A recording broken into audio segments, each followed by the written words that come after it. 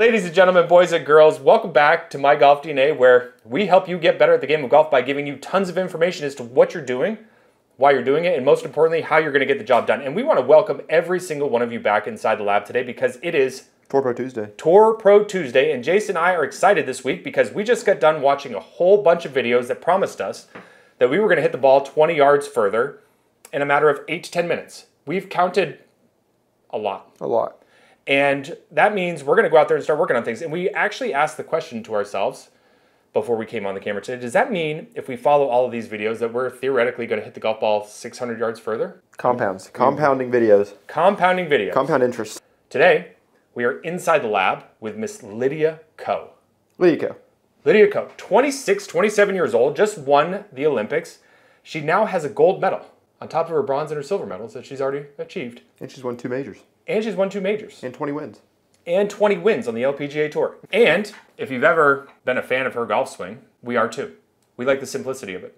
She does some things that are very different than what you would see of like a player like Adam Scott, but it's very tied to her DNA. It's how she produces her power and her speed in their golf swing. You need to do those two things if you want to play the game of golf. And that's what playing professionals are all very good at. From the number one player in the world all the way up to the thousandth ranked player in the world is they're all very good about being able to manage their speed and manage their club face. And how they do that is very much tied to their DNA, just like yours will be. We're we're going to talk about the importance of one really big characteristic that we watch post impact. Now, you're probably wondering yourself, why would Chris ever talk about a movement post impact? Why? Well, I'm going to show you today. Let's get to work. Before we go ahead and get started, though, do me a big favor head down below and subscribe to the channel and do us a big, big favor on top of that. Hit the thumbs up button, and if you have any questions or comments, please feel free to post that up below, and we'll help you out as best as we possibly can. Now, let's get to work. Consistency. I bet you every single person watching this video right now wants to be a more consistent version of themselves. They just want to go out there and hit the golf ball better. And consistency starts with an understanding of how important the low point is in the swing shape. But when you hear us talk about the low point, what is determining the low point? Well, your lead shoulder is your primary pivot point in the golf swing. It's the determining factor.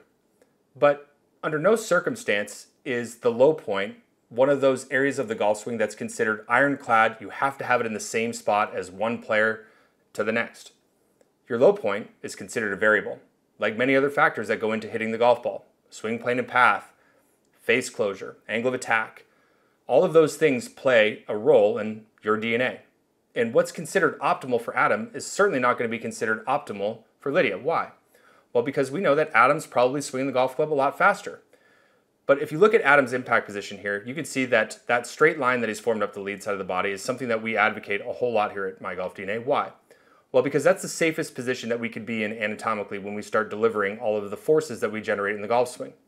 But that doesn't mean that you can't generate force and still hit the golf ball a long ways and still do it safely. And that's the reason why I like Lydia's golf swing so much is that it's very simple. And if you watch very closely on the left-hand side of the screen, I'm going to mark her head position here at address, and we're going to go ahead and get her moving off the golf ball.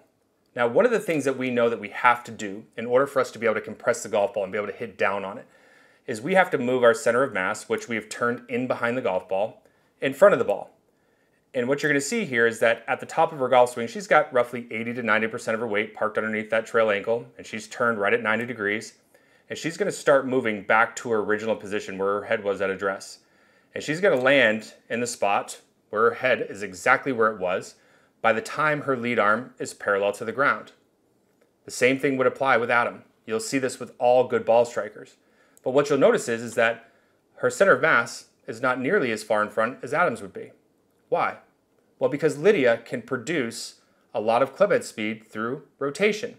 And she's also not going to be a player that wants to be uh, having a low point of five, six inches in front of the golf ball and hitting down on it with a very steep angle of attack because she may not be able to hit the ball up in the air and she may produce more spin, which is going to be harder for her to control. So as you see her get down into impact, you're going to see a minor difference. Let's take the lines off the screen and look at this closely. What you'll notice is, is that her lead knee is just inside the center of her ankle. Her lead hip socket is substantially in front of that, and so is her lead shoulder. But her lead shoulder is still in front of the golf ball. So her low point may be two inches instead of five or six inches. This is optimal for her. Now, whether it's the first time I meet you in person or if you're just joining the website, I will watch your golf swing at impact from face on and down the line. I will look at it very closely. And then what I will start to do is I will watch the movement from just outside your trail thigh all the way to about a three o'clock position. I will watch back and forth like this a very large number of times. And you might be thinking to yourself, well, Chris, why are you watching so many frames after impact opposed to before impact?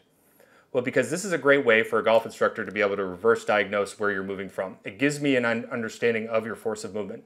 It helps me kind of understand what your skill set really is. There's a lot of moving parts that take place during the release in the delivery. There's a lot of things that have to be timed up really well, like the lead hip moving up and away. But one of the things that you're going to notice here, and you're going to be working on with me later in the week, is what her trail, shoulder, and arm do through the point of contact. But I want to show it to you more so from a down the line perspective first, because I found this really, really intriguing when we first took a look at this golf swing. When you look at her from a down the line perspective, she's got a lot of rotational mobility available to her. And if you watch, she's going to load into the right hip. She's going to start making her movement onto her lead side.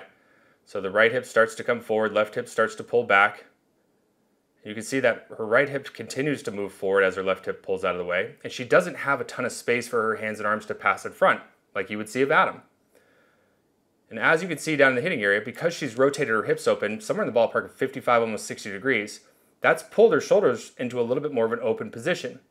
But I want you to watch this shoulder very closely from this point forward, all the way to 3 o'clock.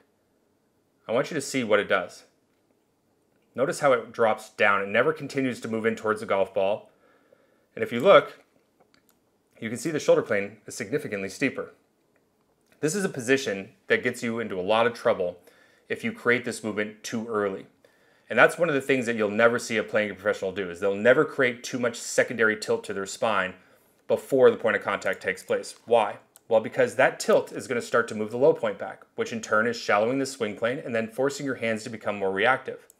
When you watch Lydia here from a face-on perspective again, I want you to take note of the head position and the trail shoulder at impact, and I want you to look at it all the way up to 3 o'clock. This trail shoulder and the head are still back in behind the golf ball when the hands and arms have extended to 3 o'clock. But if you look at impact, look at it really closely.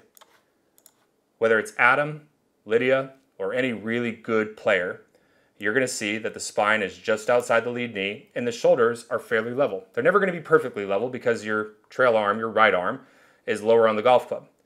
If you can get to the position where you have your center of mass in front of the golf ball, and you can get to the position where your shoulders are more level at impact, and then you can learn how the trail shoulder, the right shoulder, works through the hitting area to allow for extension of the hands and the arms, then you're going to be, have the ability to be able to be much more consistent through the low point in the swing shape but you're also going to be able to deliver a great deal of force where it matters the most, down through the bottom of the swing arc. We'll see you guys in the next video.